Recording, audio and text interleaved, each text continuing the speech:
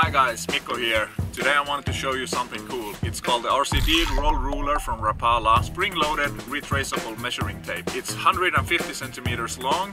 You can lock it at any, anywhere you want. There's a release button here at my thumb. When you push it, it will go back again. It takes a little space in your boat. UV protected and waterproof. When you take a photograph, it won't reflect the flash, so you will get really nice photos of your fish with the measure.